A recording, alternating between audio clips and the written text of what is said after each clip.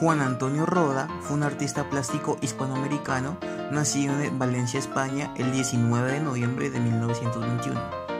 Su estrecha relación con la pintura empezó en los tiempos de Guerra Civil Española en 1936, donde junto a un amigo suyo empezaron a pintar cuadros todos los domingos. Realizó estudios en la Escuela de Artes y Oficios y en la Escuela Mazana de Barcelona.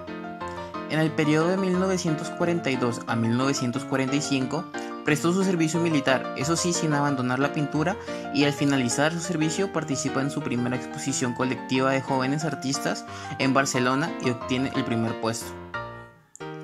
En abril de 1948 se inaugura su primera exposición individual en Barcelona.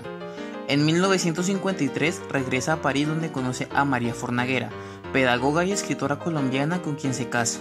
En 1955 viaja y se radica en Colombia, donde en 1956 elaboró un mural en el ábside de la iglesia de Nuestra Señora del Sagrado Corazón en Bogotá. En 1959 decide trabajar como profesor de dibujo en la Facultad de Arquitectura de la Universidad Nacional de Colombia. Este mismo año expone en la Biblioteca Nacional una serie de 19 óleos que marcaron su ingreso con la pintura abstracta. Entre 1961 y 1974 se desempeñó como docente y director de la Facultad de Bellas Artes de la Universidad de los Andes, institución donde compartió sus conocimientos y formó a varias generaciones de importantes artistas colombianos como Luis Caballero, Beatriz González o Maripaz Jaramillo. En 1983 el presidente Belisario Betancourt lo nombra cónsul general de Colombia en Barcelona, cargo que ejerce a partir de febrero de, de este año. Durante su permanencia en España realiza la serie Flora, que contiene 14 grabados. El 29 de mayo de 2003, a la edad de 82 años, fallece víctima de una neumonía.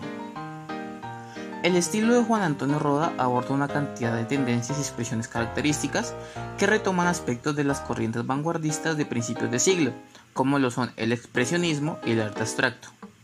En lo personal su estilo me parece fascinante, la manera en que mezcla el expresionismo y lo abstracto es genial, porque a pesar de haber cierta distorsión, el sentido de sus pinturas y lo que quiere expresar no se pierde. Esto es algo que nosotros como diseñadores tenemos que siempre tener en cuenta, sin importar la estructura de nuestros diseños, por más abstracto, deforme o plano que sea, no se debe perder nunca el sentido y el mensaje que se quiere dar.